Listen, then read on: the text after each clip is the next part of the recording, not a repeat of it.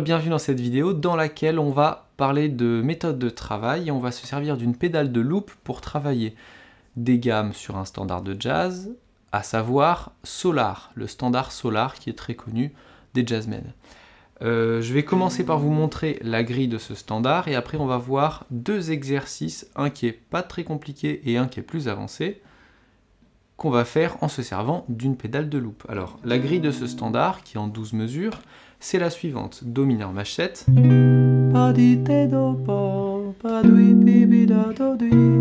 De 5 en Fa majeur. De 5 en Mi bémol majeur. De 5 en Ré bémol majeur. Et ensuite, un 2-5 en Do mineur. Et on revient sur Do mineur majeur 7. Qu'on peut aussi jouer Do mineur 6.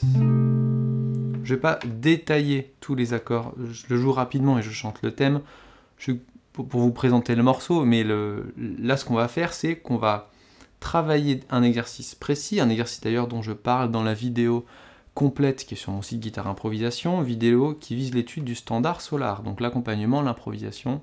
Il y a pas mal d'exercices, notamment un qui s'approche de ce que je vais faire tout de suite. C'est une vidéo complémentaire, hein, je répète pas ce que je dis dans cette vidéo, mais mais l'exercice d'improvisation que, je propose dans la vidéo, c'est ce qu'on va faire de façon détaillée avec une pédale de loop. Donc je vais me servir de la pédale de loop que j'aime bien utiliser, qui est la RC2 de Boss. J'ai d'ailleurs fait pas mal de vidéos qui expliquent comment utiliser euh, petit à petit cette, euh, pédale, donc euh, n'hésitez pas à aller voir ces vidéos qui sont sur YouTube. Ce qu'on va faire comme exercice, c'est de travailler l'improvisation sur la gamme majeure, de Fa au moment où on fait le 2-5 en Fa majeur, de Mi bémol au moment où on fait le 2-5 en Mi bémol majeur, et de Ré bémol où on fait le 2-5 en Ré bémol majeur. Donc c'est toujours la même position de la gamme majeure qu'on va utiliser.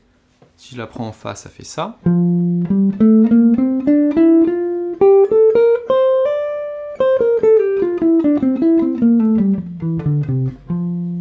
Et on va la décaler pour la jouer en Mi bémol majeur et en Ré bémol majeur qu'on va faire maintenant, c'est se servir de la pédale de loop pour se créer un exercice qui soit pas trop difficile et qui nous permette de travailler, ça, les gammes majeures, en se décalant d'un ton à chaque fois. On va donc faire une loop sans tempo, un accompagnement roue-bateau. Mais il va falloir que dans cet accompagnement, dans cette loop qu'on crée, on donne des repères, on se donne des repères pour travailler dessus, pour savoir quand est-ce qu'il faut changer de gamme. Moi, ce que j'aime bien faire, c'est de... Donc on va plaquer les accords les 2 5 1. On va le faire lentement et au moment de changer de 2 5 1, on va juste faire un petit accent comme ça. Et après, on passe au 2 5 1 d'après. Je fais ça tout de suite et après j'improvise dessus.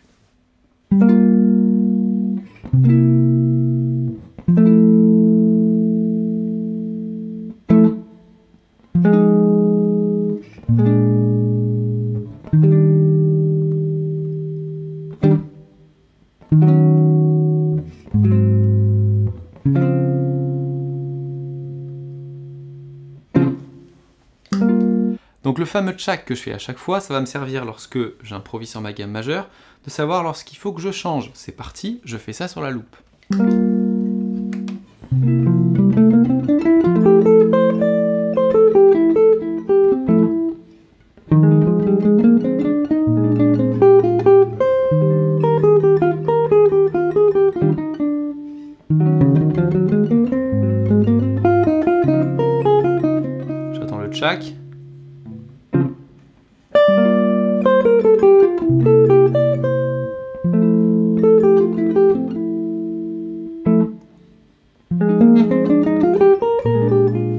Pense que vous avez compris l'idée.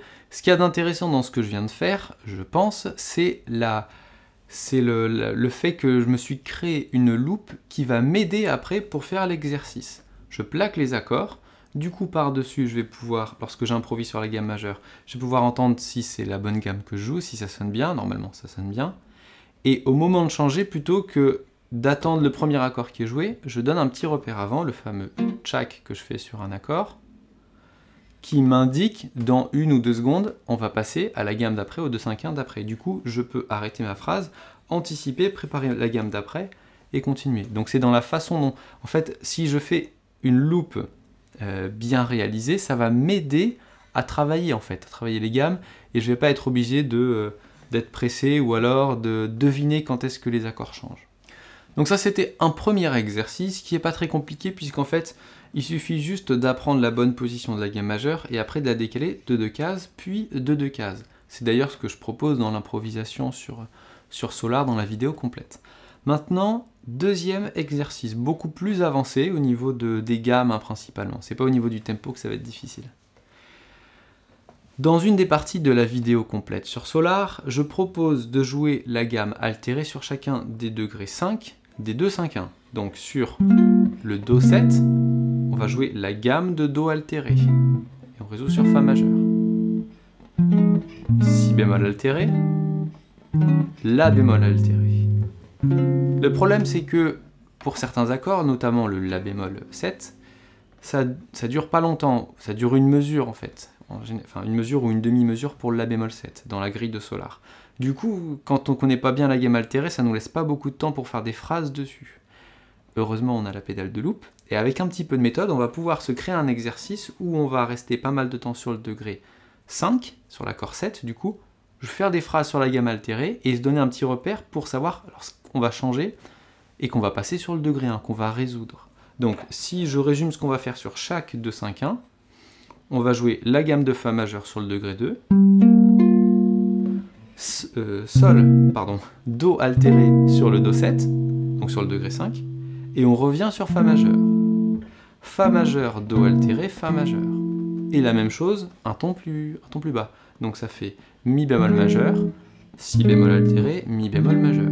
Et pareil, à chaque fois ce seront les mêmes positions de gamme. Il y en a une qu'on connaît déjà, c'est la position de la gamme majeure, et une qu'on ne connaît pas, que je vais vous montrer, c'est la position du mode altéré, ou de la gamme altérée, peu importe. Gamme ou mode, c'est pas très important.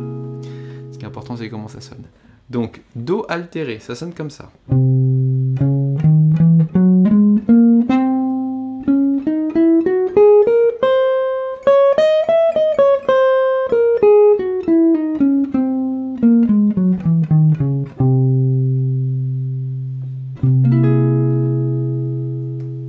Évidemment, passer pas mal de temps à travailler cette gamme, un exercice que j'aime bien faire, c'est ce que j'appelle scanner la gamme, c'est-à-dire m'obliger à créer des mélodies et pas forcément de façon linéaire en montant ou la descendant, mais plutôt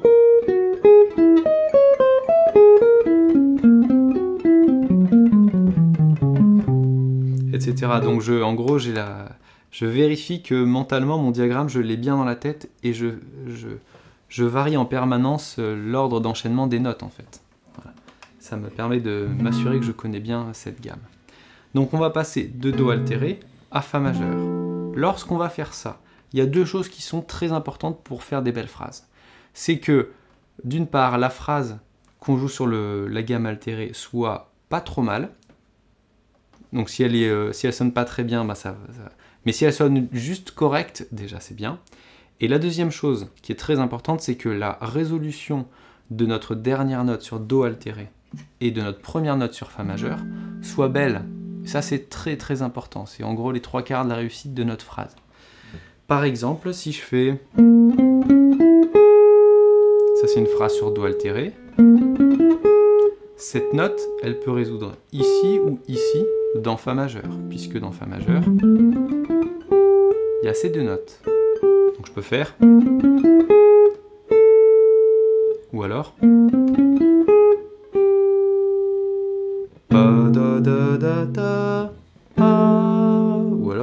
C'est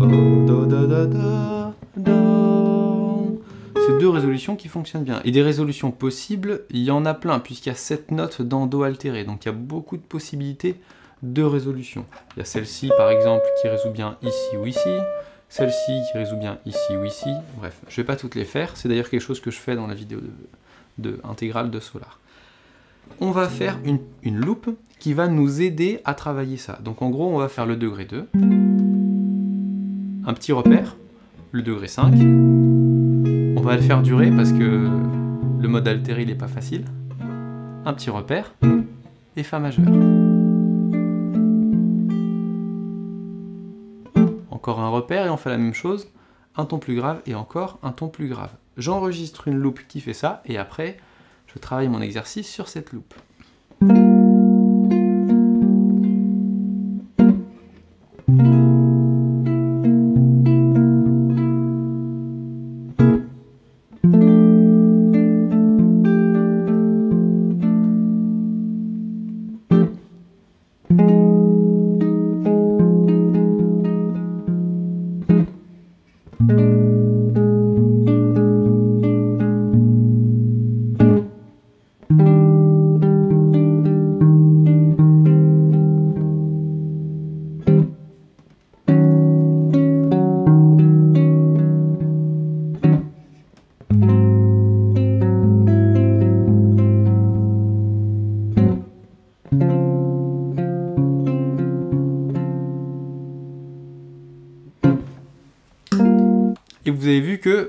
Comme ça dure longtemps sur chaque accord, pour pas laisser le son mourir, je rattaque un peu les cordes. J'arpège comme ça mon accord pour faire résonner les sons, pour faire tenir les sons.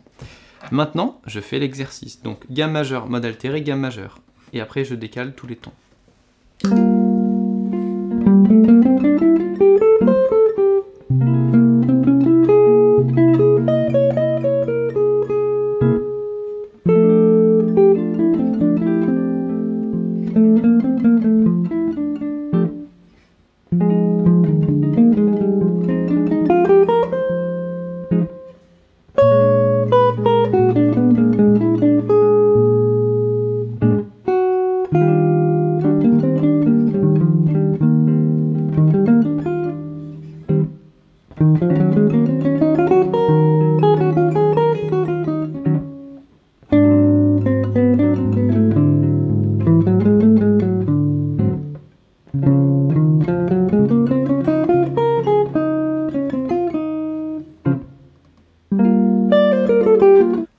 Évidemment cet exercice je l'ai fait plutôt lent mais si c'est encore trop rapide pour vous et que vous voulez faire ça chez vous et que vous n'avez pas le temps de bien voir ou jouer la gamme altérée ou comment la résoudre, faites un accompagnement, des accords qui durent plus longtemps tout simplement. Pour conclure cette vidéo, je vais faire une petite improvisation sur la grille de Solar. J'explique juste que sur le premier accord qui est un Do mineur Maj 7, on va jouer la gamme de Do mineur mélodique.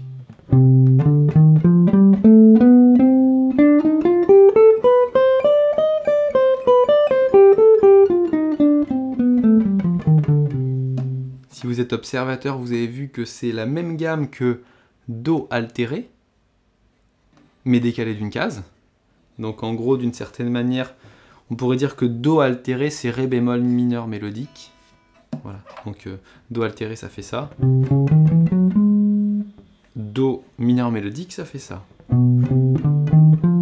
Mais en commençant par Do. Et sur le 2-5 de la fin, on peut jouer Do mineur mélodique, mais on peut aussi jouer Do mineur harmonique, ça conviendra un petit peu mieux. Avec une sixte mineure.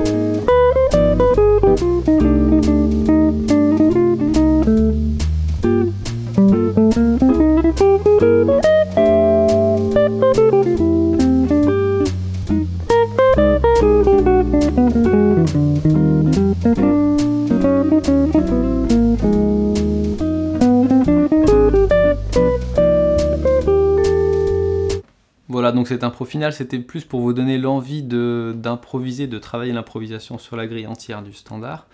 Je profite de cette vidéo pour vous dire que, peut-être vous le savez pas, j'ai sorti un CD il y a quelques semaines, un CD de composition, le groupe s'appelle Paris Music Tales, il y a 15 compositions sur l'album. C'est un album que vous pouvez écouter sur Spotify, sur Deezer.